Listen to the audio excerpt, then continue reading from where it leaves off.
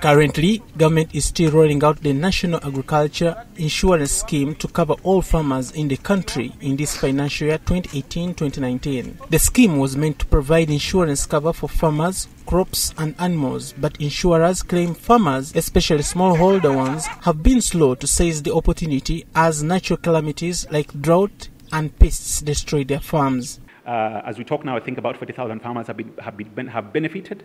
But see, traditionally, the government of Uganda is working with traditional insurance companies that have offices in urban centers, in Kampala, and everywhere.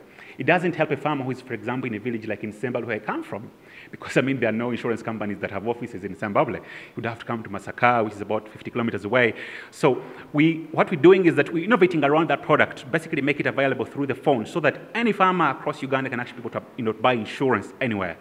We don't have like this one specific sector we focus on because our focus is entrepreneurship, our focus is ecosystem creation and climate finance in general. But within the lab, we have like a couple of um, focus sectors. One of them is clearly renewable energy, one of them is agriculture, and one of them is kind of getting the connection between insurances, micro insurances, and agriculture.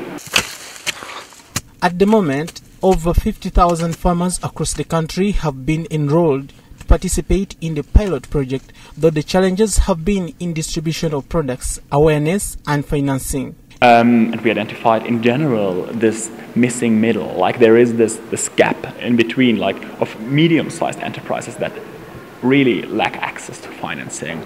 Now, when we look at agriculture, we look at like agribusinesses, we look at like what sort of support do agribusiness businesses need, and then in order to develop like products or mechanisms that can help them, we convened a wide array of um, of actors. Like we brought together banks, we brought together consultants, we brought together like SMEs, agribusinesses, farmers, specialists on farming from all different areas.